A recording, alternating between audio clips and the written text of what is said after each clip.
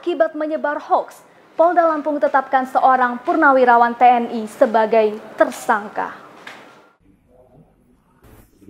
Cybercrime di Treskrimsus Polda Lampung menetapkan purnawirawan TNI bernama Samsul sebagai tersangka dengan tuduhan provokasi di media sosial.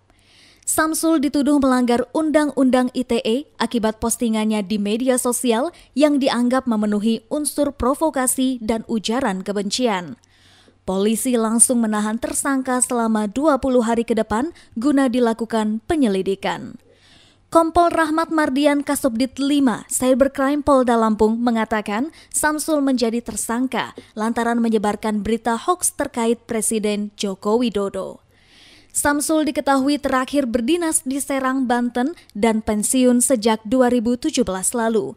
Akibat perbuatannya, Samsul dijerat pasal 35 Junto pasal 51 ayat 2 Undang-Undang Nomor 19 Tahun 2016 dengan ancaman hukuman 12 tahun penjara.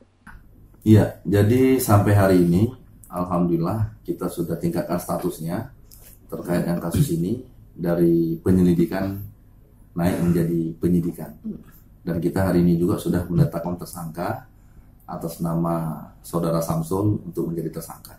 Iya, rencana ini sebentar lagi kita akan gelar terakhir untuk menentukan apakah akan kita tahan, hmm? tapi kemungkinan besar akan kita tahan karena ancaman hukuman yang terberat uh, pada posisi saat ini itu 12 tahun.